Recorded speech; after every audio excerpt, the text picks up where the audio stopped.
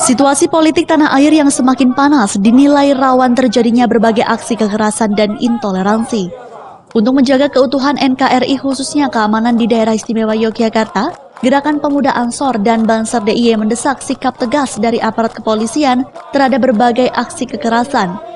Menurut Ketua PWGP Ansor DIY, sikap toleransi, radikalisme hingga terorisme bisa kembali terjadi memanfaatkan momentum situasi politik tanah air baik panasnya gelaran pilkada serentak hingga kondisi situasi politik di daerah dan pusat. Untuk menjaga keutuhan NKRI diperlukan peran serta masyarakat, kerjasama dan saling membantu baik itu pemerintah, aparat, dan para tokoh agama untuk mengantisipasi berbagai gerakan yang berpotensi menimbulkan aksi-aksi kekerasan dan radikalisme. Hari ini situasi politik secara nasional perlu menjadi perhatian kita bersama kalau kemudian ada yang sudah teriak revolusi, kalau kemudian sudah ada yang teriak pegal kepala, maka ini perlu untuk diluruskan.